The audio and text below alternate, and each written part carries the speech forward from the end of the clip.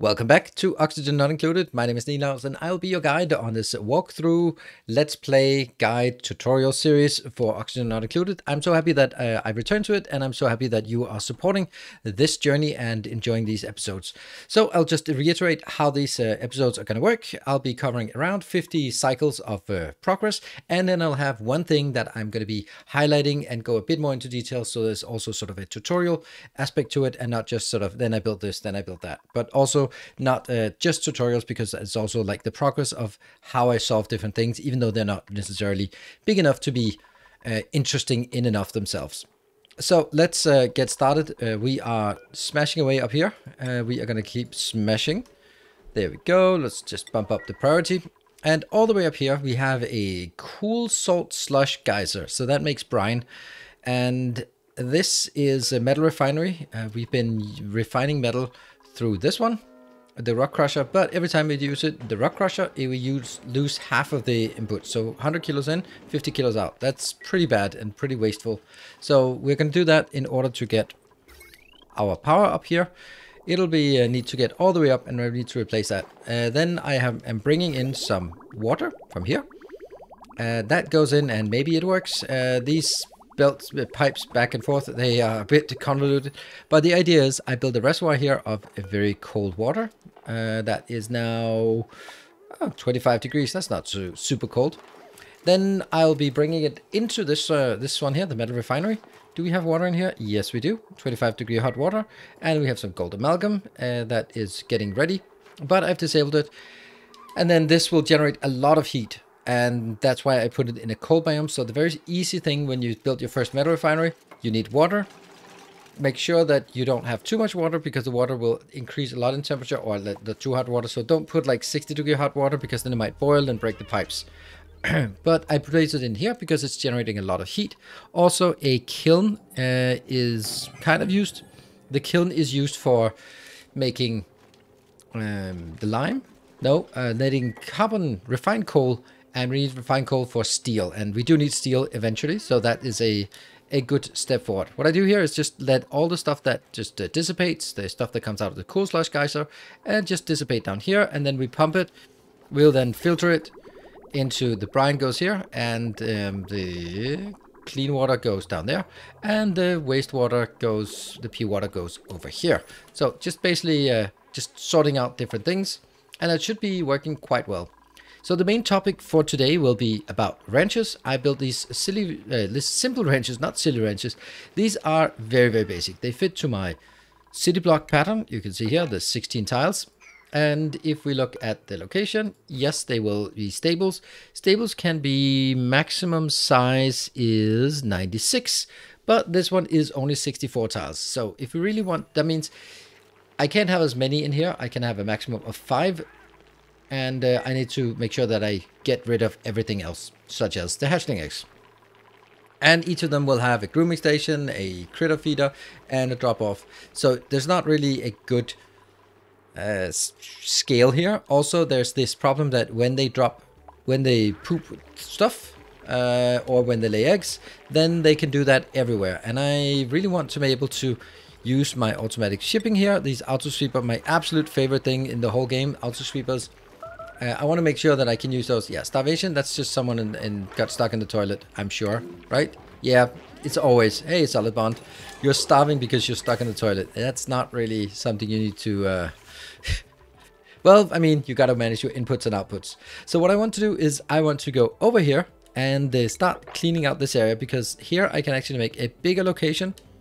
And that will be, if I can make it 24, so like that, 24, then I can make a much better design for my uh, my hatches here. And uh, that's going to be the next big thing that we want to do. So now we've dug out all of this area over here, and uh, that has a much nicer location and size. So let's have a look at how I built this. Uh, this is built in a very specific way, and uh, I really uh, like this way of doing it. I'm making it the absolute minimum amount of space that they they need to walk back and forth. The reason why I'm doing that is because First of all, when uh, we come in here for the grooming station and call them, then we don't have to wait very long until they actually get here. So it's kind, kind of convenient or quite convenient. Uh, the other thing is that anywhere they drop their stuff, they can only walk back and forth here. they will actually be uh, in range of the sweeper and I don't need many sweepers to, to cover this area. So that's super, uh, super nice. Uh, we also make sure that we have, see, there we go. Look how quick they, uh, they come in here. Perfect. And they will now go back and forth. Uh, I need to put a door so they, my dupes can go in here, uh, but uh, an automatic door, the spiders will not, or um, hatches will not cross those. And then one above, otherwise they will jump up and jump on the other side. But if I make it all the way up, then it becomes this little room. But all of this is one room in in and of itself. It is the maximum size, 96 tiles. I just had to little, little dot here and cut this off so that it fits the perfect maximum size. And that's basically the way that I uh, built these. Uh, it gets more advanced as well, uh, if I could just do that. Um, but this super uh, easy to make that one and I'll just get this one up here and I'll get here then we'll have on this line. That will just be for anything that we pick up. I'm indiscriminately picking up anything. I'm not even caring about whether it's um, uh, it's eggs or it's coal or it's eggshells or whatever it is or meat when they die. It's just anything and everything gets uh, taken out there. Uh, this part will also need to be like this. And then I can just improve like that. And copy this setting up here. Very easy to make. There is one more uh, part of this that I will also be doing, but I'll do that uh, a bit later because that's the monitoring of uh, how many are in here. So we can start and stop the hatching uh, as, as we need it. Um, this is here. What are we feeding them? We are currently feeding them sedimentary rock. And maybe at some point we'll feed them something else. You can see the sun here. It says it's the room is too big, but now it doesn't say the room is too big. Now it actually says it's perfect size. Great. So we now have a perfect size room here. And this takes forever to make, but eventually it'll get there. There. And I'll copy the settings here. And this is basically just taking, well, organic, the eggshells, which is not really happening. And then any egg that we could get there, or and also the coal as well. So that is how we do it. I'm going to be building a lot more of these as we clean out this area and then uh, we can recoup this area and uh, and start moving the biters. Uh, I keep calling that. They move the hatches over there. Uh, this is 7 and auto, auto take anything else. I'll just set this to 0 and then auto wrangle anything else. I should just mark it as uh, auto wrangle so they will be moved over to this location. So that's working pretty well.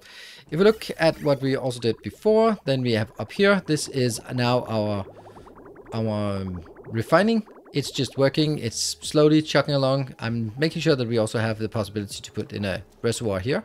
Uh, I did make a mistake, which is uh, kind of obvious with the way I do things. Uh, I'm taking the excess from here. This is the hot water and taking it down here. Unfortunately, this hot water used to be pee water. So what happens is I now have food poisoning in all my water supply. That's kind of unfortunate. Um, eventually, I'll need to get some other supplies, but not right now. Uh, over here, we just have slow... Uh, I'm not using the penny power for this because we're having plenty of that. I also want to gradually transition into having stone hatches. So uh, let's uh, take a look at we go a bit further with this part as well. And as we're progressing here, we are seeing that we are adding more hatches here. Look at that populating this with hatches and uh, we have also built another one. And this one is a sweetle farm or it's basically both a grub fruit plant farm because grub fruits are super good plants except that they are pretty bad unless they get fertilized by these sweetles or grub grubs. So what we need to do is we need to have these sweetles here running around inside and then also managing this. So that means this will be both a sweetle farm and also a um, uh, a grub fruit farm. Grub fruits, if we find some some wild grub fruits out here, I don't know if I even have anything left, any wild grub fruits left out there. I don't think so because I kind of went out hunting for them. Um, yeah, here you can see that they are spindly grub fruit plant. They are not particularly good. Uh, grub fruit seed and if it's tended with virgin critter, it will produce a high quality fruit instead. So that's what we want. See, 800 uh, for a spindly grub fruit. And let's see it. We don't see what it actually turns into until we get that one. That's a grubfruit plant. And we can see this uh, gives 2000. So definitely a better thing to uh, to to deal with here. Uh, I'll just be making the next one down here. keep expanding our setup for uh, for hatches because we need as much as possible.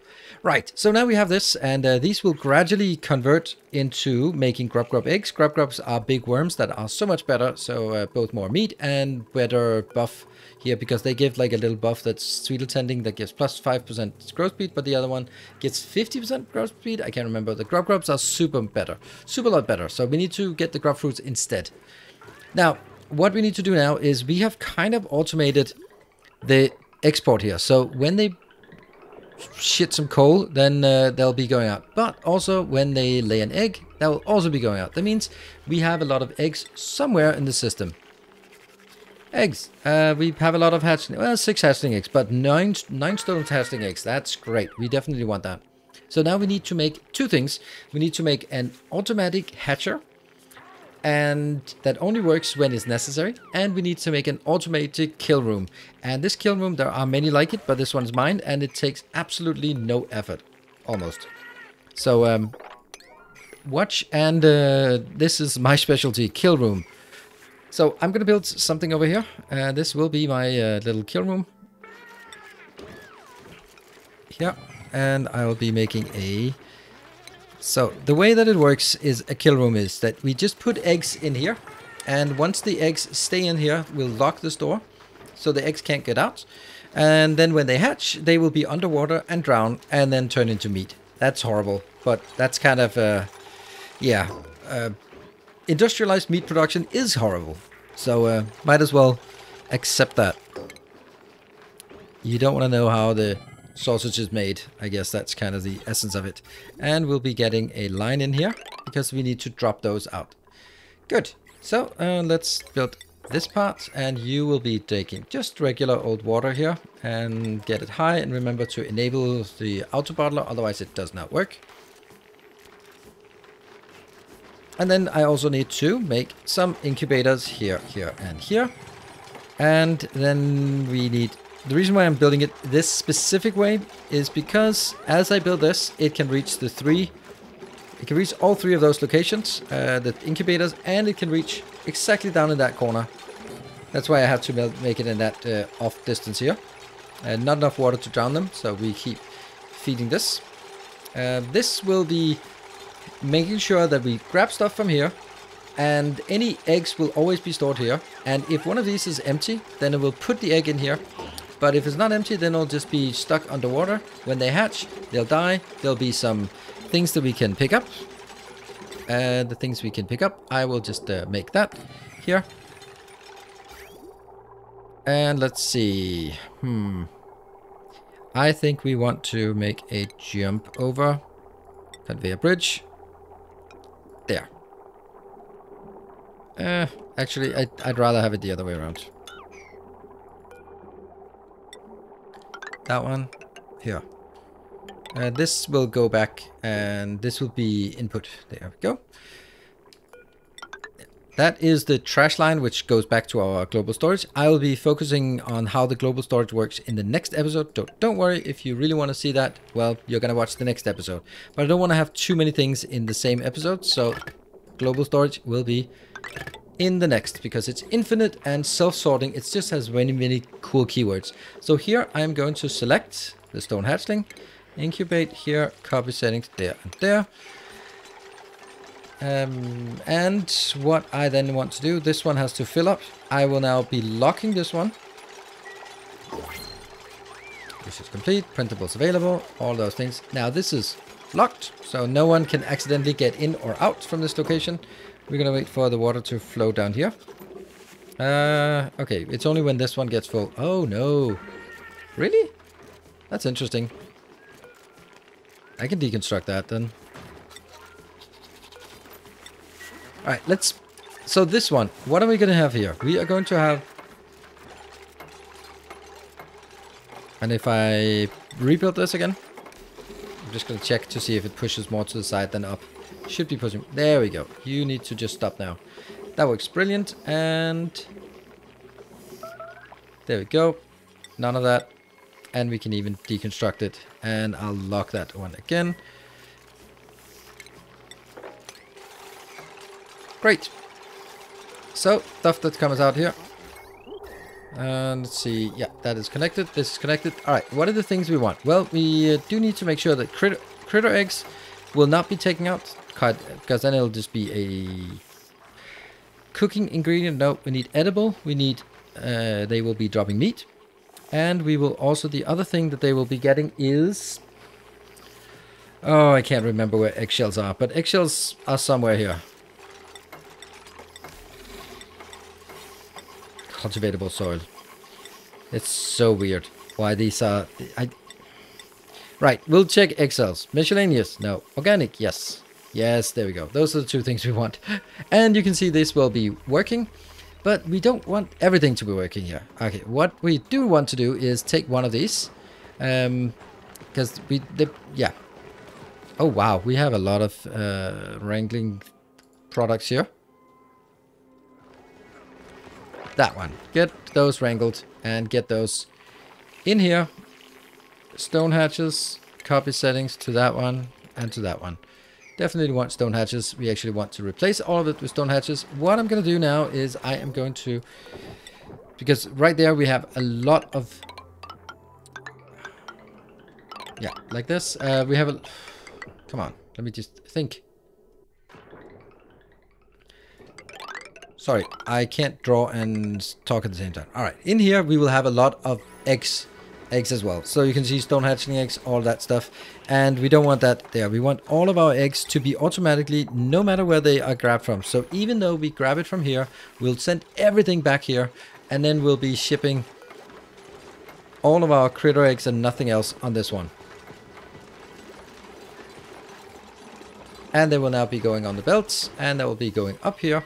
And then be underneath. We do have a few more things to build at this location. So Make sure this has, is a room. Make sure that this is here. And so that also needs to be done. I will be upgrading. Yeah. All right. And how are we doing on this part? Well, almost. You can see there are some eggs that are coming in. That's actually not a lot of eggs. Uh, it's kind of weird why we not don't have any more of the eggs. Maybe they just sweep here and sweep there. So you can see all of the coal that's left here is something that gets automatically picked up without us ever using any dupes for it. Yes, now they're coming in. It's coming in. And this will be auto-wrangle everything, and I want zero, and all of it gets auto-wrangled. There we go, right? We never want anything in here, so anytime something hatches, they will be auto-wrangled and put into one of these locations. Pretty damn neat, but we're not done yet. So here, we have the eggs down here. We're not done yet because if I keep doing this, they're going to be using a lot of power and they are always going to be on and I don't want that. So what I'm going to do is I'm going to make a setup so that I control how much, how long they actually are active. And I'm going to do that by having critter sensors. Um, yeah, I don't want you.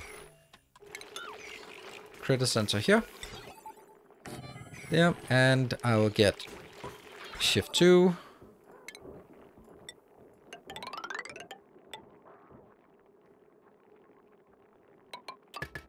like that. And do that, does this need, no, it doesn't need anything. All right, let's build this and then I'll show how that works. Uh, actually, we need all of these in here. For now, we're only making hatches, but we will eventually be making some other things as well. And now we built the wire connection. So let's have a look at how this actually works now. Um, now, this is going to say count the number of critters in here because there won't be any eggs. Eggs will be picked up automatically. So count the number of critters. If it is less than seven, then a green signal because less than seven means I'd like to have one more. Okay, so uh, this one has is counting seven, so it's not less. That means this one is sending a red signal. Same with this here. This has seven. You're counting seven. This one though, you also just got seven. Ah, come on. Okay, I'm gonna have to build one more so we can see the idea of it. Alright, so we built one more. And all we need to do is we need to copy the settings down here.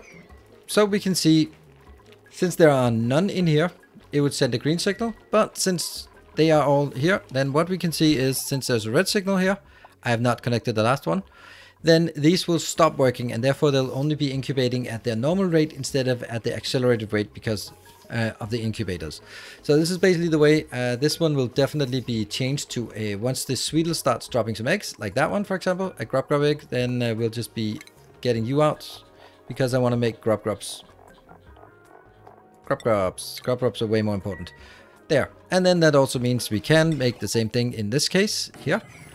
And make the same signal and just let it go up here and then control it at that location. Uh, here I have now made some sweepers so that I cover the entire area and can put things into here. So this will be actually taking, is there anything that it shouldn't be taking? Not really.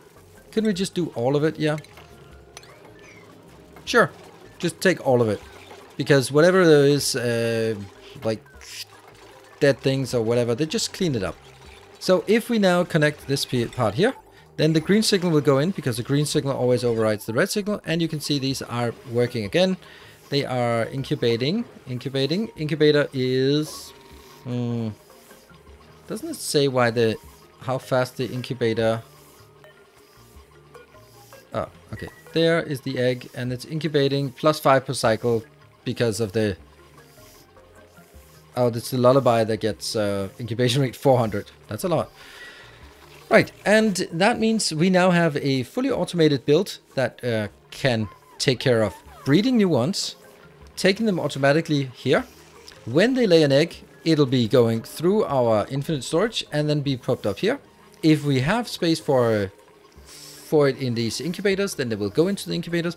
If not, then they will just go here. They will hatch, and as they hatch, we can see more are coming in. Two Sweetles.